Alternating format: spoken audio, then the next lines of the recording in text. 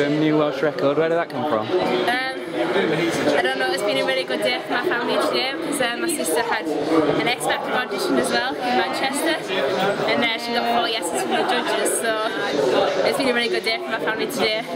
We were in Manchester about, till about 5 o'clock and I think we just arrived like 5 minutes before my race so it's really good to see my sister up there and my parents so they just made it in time for my race so it's been a really good day so far. Would you say you're in the, the form of your life at the moment? Um, yeah, I haven't, well I didn't PB for three years until today so it's a big stepping stone for me. It's really hard me to improve in a couple of years.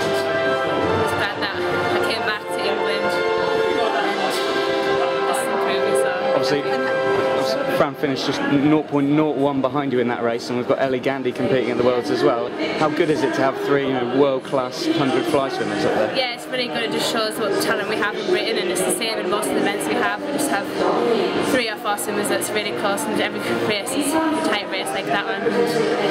I'm just really pleased that I managed to win because I normally lose out on close races, so I'm just really